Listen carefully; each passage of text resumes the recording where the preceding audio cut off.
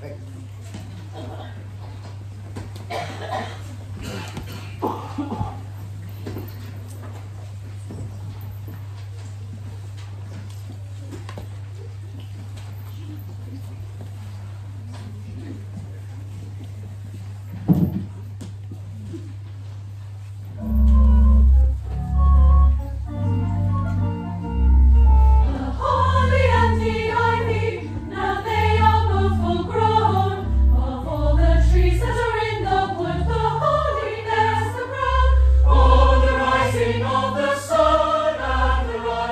Oh. the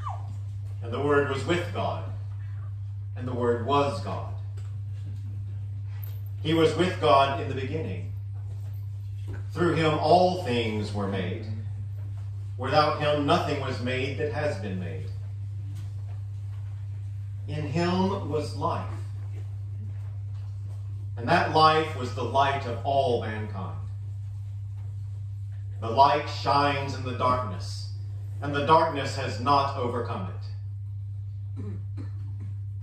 There was a man sent from God whose name was John. He came as a witness to testify concerning the light, so that through him all might believe. He himself was not the light. He came only as a witness to the light. The true light that gives light to everyone was coming into the world. He was in the world, and though the world was made through him, the world did not recognize him. He came to that which was his own, but his own did not receive him. Yet to all who did receive him, to all who believed in his name, he gave the right to become children of God. Children born not of natural descent, nor of human decision, or a husband's will, but born of God. The Word became flesh and made his dwelling among us. We have seen his glory and the glory of the one and only Son who came from the Father, full of grace and truth. Thanks be to God.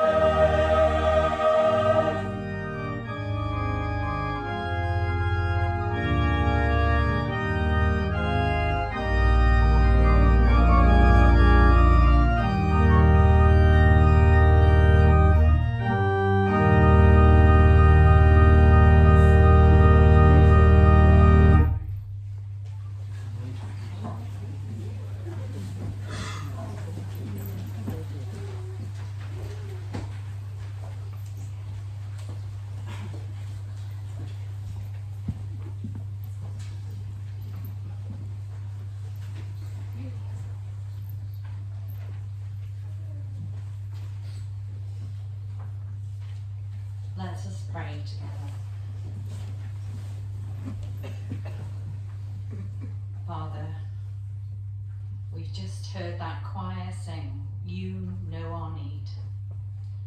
And as we bow before you tonight, Lord, you know our needs so much more than we do. And we thank you that you care and reach out and want to answer those needs. But Lord, as someone said to me recently, there can be a thousand steps and God will make all of them, but it's up to us to make the last one. So Father, tonight, as we celebrate, may we make that step. May we come closer to you than ever before. Heavenly Father, we thank you and praise you for the time that we have celebrated this evening. Celebrated Emmanuel, God with us. We thank you that you are indeed with us through the power of your Holy Spirit, that you're always with us. And we thank you and praise you, Lord. We thank you and praise you for the gifted singers and musicians willing to share their talents with others. But above all, Lord, to bring you glory.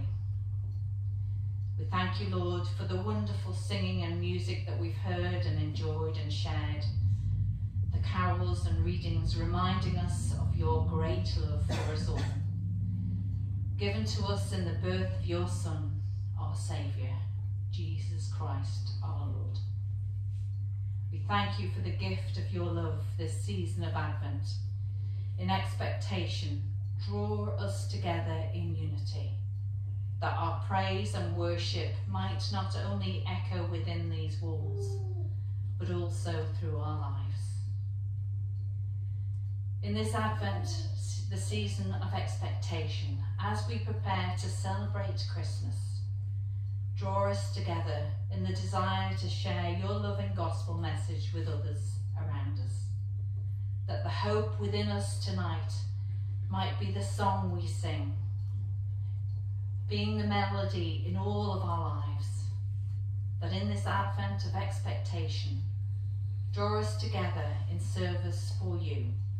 That the path we follow might lead us to, from the stable to the cross to a glimpse of eternity. As we share in the abundance of living that we have, Lord, may we remember those who are hungry and thirsty and homeless. Those for who, who struggle with the effects of living with war. And we pray that we will do all we can to help those who suffer. And this year, Lord, a year of difficulty and struggle. We remember those living with the restrictions of COVID. For those who are missing loved ones, may they know your peace and your comfort today, Lord. And we pray, Lord, for a healing end to this pandemic. Lord, may we remember others this Christmas in our giving and in our prayers. And may our hearts continue to sing and respond to the love that you so freely give us. In Jesus' holy name we pray. Amen. Amen. Let's join together in the Lord's Prayer. Our Father, who art in heaven, hallowed be thy name. Thy kingdom come, thy will be done on earth as it is in heaven. Give us this day our daily bread, and forgive us our trespasses as we forgive those who trespass against us. And lead us not into temptation, but deliver us from evil. For thine is the kingdom, the power, and the glory, forever and ever. Amen. And we continue in prayer with the words that you see on the screen. This is the breakthrough prayer. God of love, God for all, your purposes are more beautiful than we can possibly imagine. Fill us with your Holy Spirit. Help us let go of all that holds us back. Open our lives and our churches to new seasons of humility and faith, of change and growth. Shake us up with the good news of Jesus and show us the way. bless you and keep you. The Lord make his face to shine upon you and be gracious to you. The Lord lift up his countenance upon you and give you peace, this night and forevermore. Amen.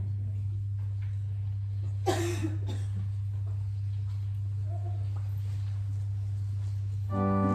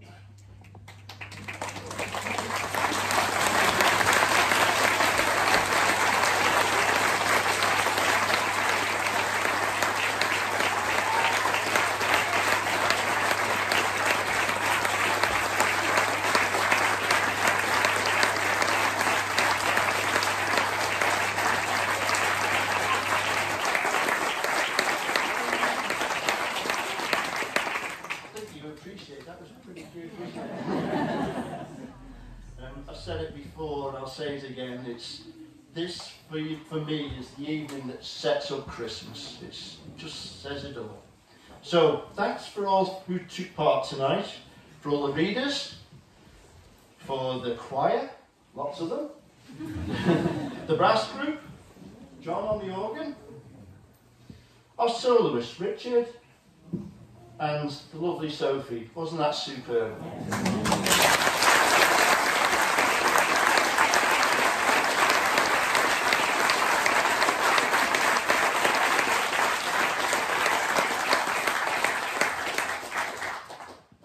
Pulls it all together. Um, I can't think of his name. Gavin, isn't it? no, Gareth Moore. Thank you.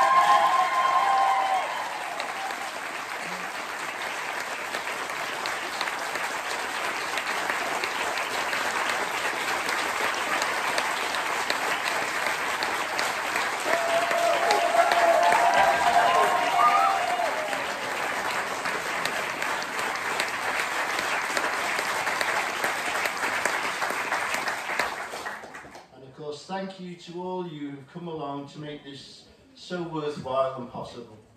And we must also thank the uh, folks in the kitchen because they are going to serve you some food and drinks. If you'd like to stay seated, they'll wait upon you shortly.